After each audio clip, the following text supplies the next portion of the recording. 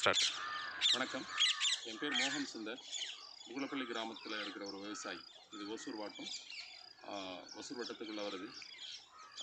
இந்த வருஷம் இந்த கொரோனா பீரியடில் எனக்காக ஒரு தோட்டம் இருந்தது. அந்த தோட்டத்தில் விவசாயம் பண்ண வரும் பொழுது இந்த இடத்துல ஒரு ஓடை போயிட்டு இருந்தது.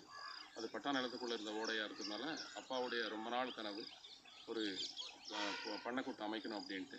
ஸோ இதை வழிமுறைகளை ஆராய்ஞ்சு பார்க்கும் பொழுது எனக்கு அரசாங்கத்திலேருந்து கூட உதவி கிடைக்குதுன்னு கேள்விப்பட்ட பின்னாடி ஓசூரில் இருக்கிற வேளாண்மை பொறியியல் துறை மூலமாக அதனுடைய அசிஸ்டன்ட் எக்ஸிக்யூட்டிவ் இன்ஜினியரையும் அவருடைய அசிஸ்டன்ட் இன்ஜினியரும் நான் தொடர்பு கொள்ளும் பொழுது நான் ஏறக்குறைய வந்து செப்டம்பர் மாதத்தில் தான் இந்த தொடர்பு கொண்டேன். அதுக்குள்ளே எல்லா ஸ்கீமும் முடிஞ்சதுன்னு சொன்னாங்க.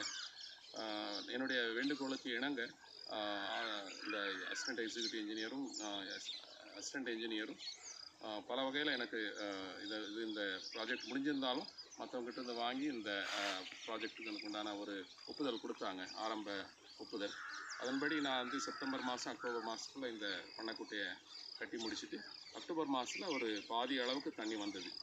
அந்த தண்ணி வரும் பொழுது அந்த தண்ணியை வந்து நீர்ப்பாசனத்துக்கு மட்டும் இல்லாமல் மற்ற வ வகையில் விவசாய விளைபொருட்கள் அதாவது அதை சார்ந்த ஒரு தொழிலை வந்து ப- எடுக்கலாம் அப்படின்ட்டு ஒரு யோசனை வந்தது. அந்த யோசனைப்படி கிஃப்ட் அப்படிங்கிற திலேப்பியா மீன் வளர்க்குறதுக்கு உண்டான வழிமுறைகளை ஆராய்ஞ்ச பின்னாடி கிருஷ்ணகிரியில் அதுக்குண்டான ஒப்புதல் பெற்று அவங்ககிட்ட விதை வாங்கி கடந்த டிசம்பர் மாதத்தில் இந்த ஒரு நாலாயிரம் மீன் குஞ்சுகளை கொண்டு வந்து இங்கே விட்டோம் அந்த நாலாயிரம் மீன் குஞ்சுகள் இன்றைக்கி வளர்ந்து இன்றைக்கி அதனுடைய அறுவடை நடந்துகிட்ருக்கு அந்த அறுவடை மூலமாக இப்போதைக்கு ஏறக்குறைய எனக்கு வந்து ஒரு ஐம்பதனாயிரம் ரூபா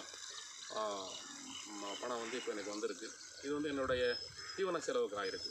அடுத்து வர்றது ஒரு எதிர்பார்க்குற இன்னும் ஒரு ஐம்பதாயிரமோ ஒரு அறுபதாயிரமோ வரும்னு நினைக்கிறேன். இது எல்லாமே எனக்கு வந்து இதுக்குண்டான ஒரு லாபமாக நான் நினச்சிட்ருக்கேன். ஏன்னா இது தண்ணி இல்லாமல் தண்ணிக்கு மட்டுமே இல்லாமல் மற்ற விவசாயினுடைய விளைபொருட்களுக்கும் இது உபயோகப்படுறதுனால ரொம்ப சந்தோஷமாக இருக்குது எல்லா விவசாயிகளும் ஒரு தற்சார்பு விவசாயத்தை எடுத்துக்கணும்.